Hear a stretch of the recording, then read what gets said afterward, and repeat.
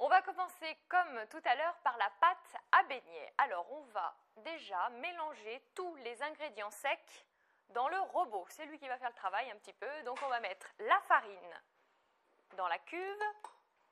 On va ajouter le sucre et un petit peu de sel. Voilà.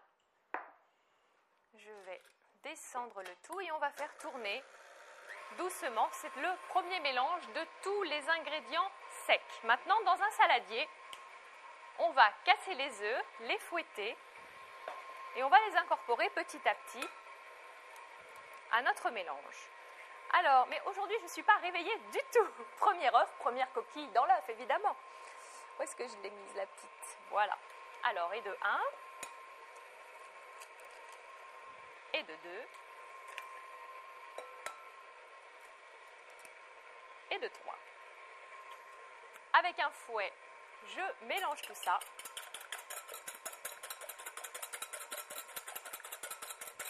Et on va les incorporer doucement à notre mélange ici sec. Juste avant, on n'oublie pas de faire fondre dans une casserole le lait et le beurre que je vous ai présenté lors des ingrédients. Donc pour prendre un petit peu d'avance, on les a déjà préparés. Le lait et le beurre sont dans la casserole et on va pouvoir maintenant rajouter la levure de boulanger. Vous savez ce qu'on va faire?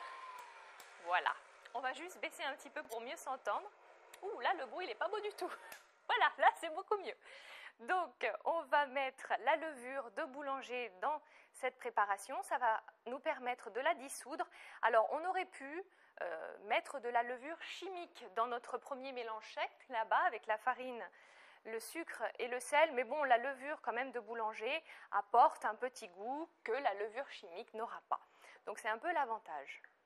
Et puis, puisqu'on en est dans les goûts, je vais d'ailleurs baisser un petit peu le feu, puisqu'on en est dans les goûts, euh, cette pâte à beignets sucrée peut évidemment être parfumée, comme tout à l'heure, à la fleur d'oranger, avec euh, d'autres parfums, du rhum par exemple. Oh, ça va, c'est très très bon les petits beignets au rhum. D'ailleurs, aux Antilles, il y a des beignets partout. Hein. et alors, je vous conseille notamment le beignet de banane flambé au rhum, un délice. Alors, où j'en suis, moi? Entre mon lait, euh, mon petit mélange et mes œufs, alors ce qu'on va faire, on va mettre les œufs petit à petit, voilà, dans notre mélange farine, sucre, sel, et on va bien laisser incorporer. Quand on aura fini d'incorporer les œufs, eh bien, on ajoutera cette fois-ci notre mélange ici avec le lait, le beurre et la levure. Bon, le temps de faire tout ça, allez, une petite histoire rien pour vous. Depuis le début, euh, j'ai envie de vous la raconter. Comme il y a un peu de bruit, ça va couvrir mon discours, c'est bien parce qu'en fait, je vais vous parler des pennon. Eh bien oui, c'est comme ça, dans Fiche Cuisine, on parle de tout. Il faut savoir que l'origine des beignets, bah, ça vient de là, d'un pennon. Alors je vous explique. En fait, à l'abbaye de Marmoutier, il y avait une communauté de religieuses qui étaient en train de cuisiner pour un festin. Et il y a une des religieuses qui a, comment dire, un espèce de petit vent, voilà. Et euh, ses collègues, bah, ça les a beaucoup amusées, elles étaient mortes de rire. Et elle, elle était bien sûr un peu gênée. Et elle avait, un peu comme moi ici, de la pâte dans la main et elle a laissé tomber un morceau de pâte dans la friture. Et en fait, c'est comme ça que sont nés les fameux pennon et donc nos beignets à nous maintenant. Eh oui, comme quoi, ça mène à tout. Hein voilà, allez, on aura mis donc nos œufs dans notre premier mélange. Et on va maintenant rajouter le lait, le beurre et la levure de boulanger, là aussi petit à petit.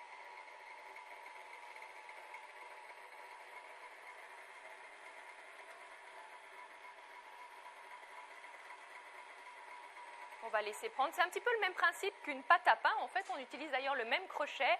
Bon, si vous n'avez pas ce type d'appareil, bien sûr, on utilise les biceps et on y arrive tout aussi bien.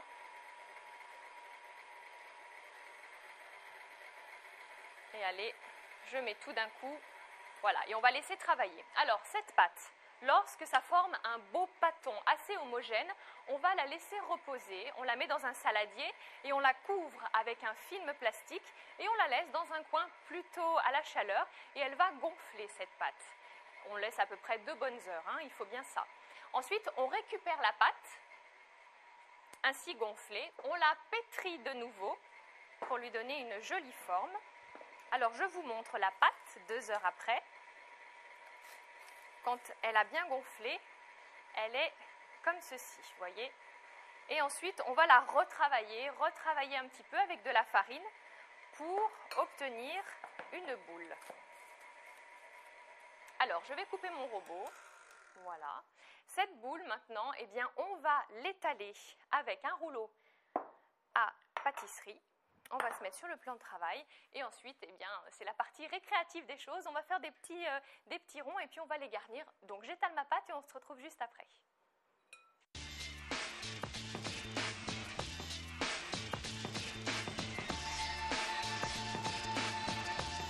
Ça y est, j'ai bien étalé ma pâte. À l'aide de petits emporte-pièces, maintenant, je vais détailler des petits ronds de pâte. Voilà. Alors, vous faites avec l'emporte-pièce que vous avez à la maison, peu importe la forme, pourvu qu'il y ait le contenu. Et le contenu, justement, eh bien, j'ai choisi en premier lieu de vous montrer un petit beignet à la fraise, à la fraise fraîche. On roule la fraise dans le sucre alors ça peut être la poire, ça peut être la pomme, vous faites vraiment avec ce que vous avez à la maison. Ceci fait, on pose la petite fraise au centre du disque de pâte.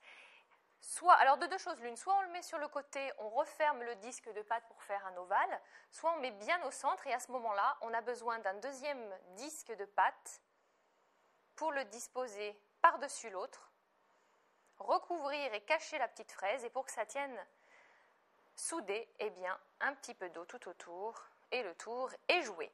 Alors c'est bien les beignets sucrés parce que ça a vraiment un air de fête, on est vraiment au cœur du carnaval. On peut faire ça avec les enfants, hein. on peut les faire participer à l'élaboration de la pâte, on peut les faire farcir les beignets. Ceci dit, lorsqu'il s'agit de friture, là on les éloigne et on s'en charge nous-mêmes. Voilà, alors le premier est fait, on va pouvoir le mettre dans l'huile de friture, toujours chaude, 180 hein, degrés. On va se faire une petite bugne, hein, de lion. On ne pouvait pas y échapper, évidemment. Alors, là, c'est à l'aide d'une petite roulette. On va faire un rectangle, comme ceci. Ce rectangle, fait attention de bien finir les angles. Hein. On le fend au milieu et le tour est joué. Alors vous savez qu'en fonction des régions, d'ailleurs, euh, la bugne change de nom. À Lyon, on l'appelle bugne. Euh, en Provence, ce serait plutôt les oreillettes. On a les merveilles en Gascogne, moi je trouve ça très mignon comme nom. On a aussi euh, la roussette à Strasbourg. Alors là, on a ma bugne lyonnaise que l'on plonge, hop là, dans la friture. Et puis le second petit beignet à la fraise. Et voilà, on les laisse dorer tranquillement. Un récapitulatif et on se retrouve juste après.